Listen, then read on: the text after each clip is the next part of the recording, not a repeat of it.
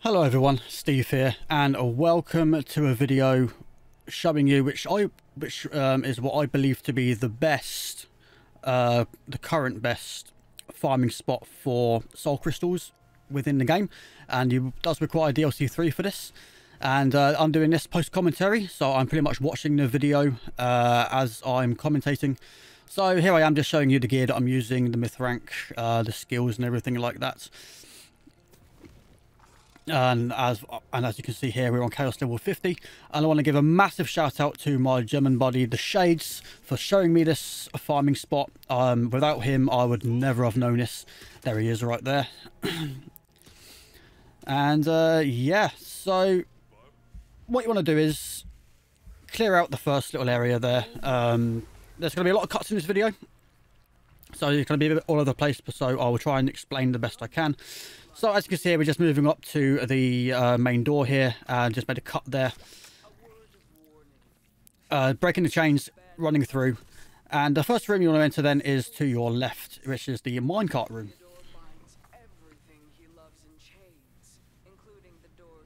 And this is the room where you're going to be doing all of your soul crystal farming.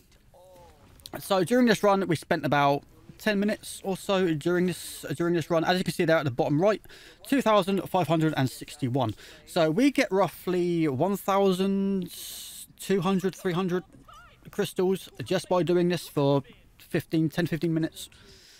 And it's pretty much just killing stuff letting it all respawn killing it again. And uh, you want to focus your power your damage onto those uh, blimps up there um, they spawn a lot, bunch of these little guys.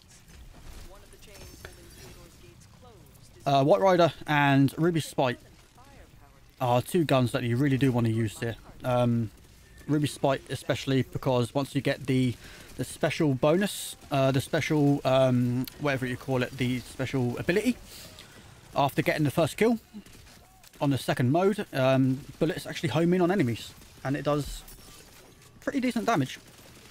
So as you can see, we're just spending about a minute or two just killing stuff.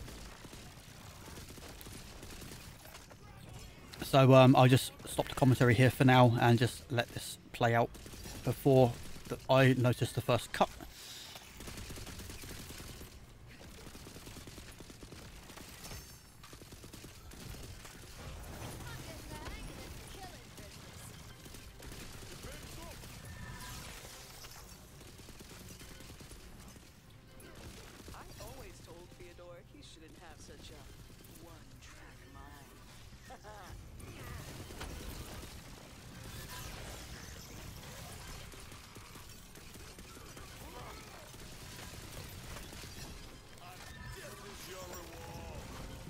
Uh, you know what? I just keep on talking, so I don't want too much dead air.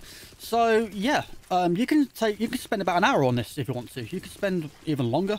Um, the longer you take, obviously, um, determines how many crystals you actually get. So there I am having a quick run around, picking stuff up. Um, you want to do this every couple of minutes or so, just to just to um, make sure you have your crystals in case the game crashes or something like that. Um, I'll jump it down again in uh, just um, a few seconds here. Another 30 seconds or so. um, that'll be the next cut when you see me do that. Um, you can feel free, of course, to pull the first three switches to lower the uh, the bridges if you want to. Uh, just don't lower the fourth one if you want to continue doing this, because once you've lowered the fourth one and killed all the enemies, they won't respawn. so just make sure you um, just keep just keep one of the switches on activated. So here we are again then, just dropping down, running around, picking stuff up. Uh, there are two soul chests in this room as well. Um, if you are playing on chaos mode, um, each crystal gives you three crystals.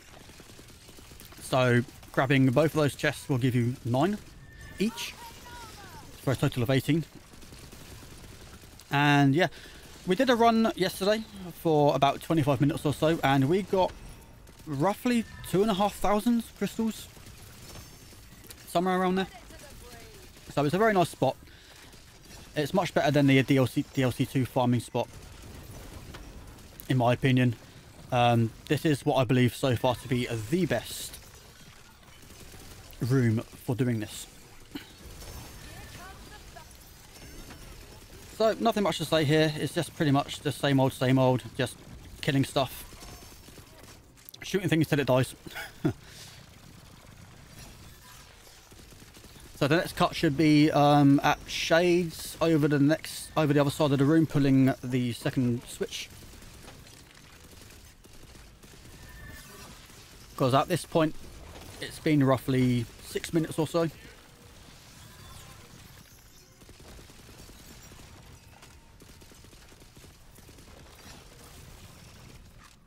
Yeah, sometimes guys like to um, come up behind you and flank you, so be careful with that.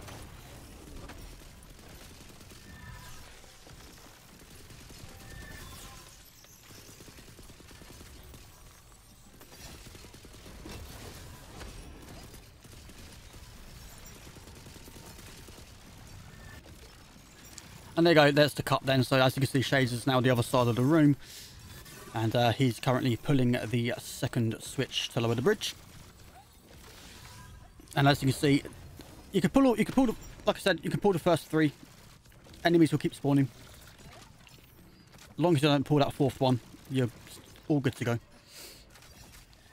And then the next cut should be to me running to grab the I think, third or fourth switch. So there you go. There's uh, lower the third bridge. Just up on the screen. So there we go. That's me going over to the fourth and final switch.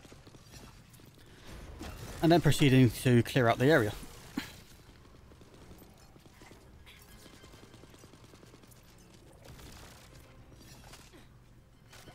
So the challenges in each room are pretty much the same in this DLC as um, as they were in the first two. Um, you can um, destroy all the all of the elemental barrels. You can go for all of the uh, crystal chests, and of course there's melee kills as well. So there we are then. That's the cut to um, entering the portal.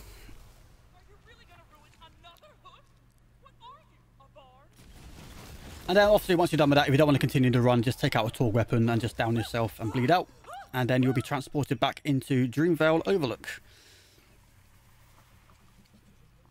sometimes the game likes to freeze there at that point, so I cut it out.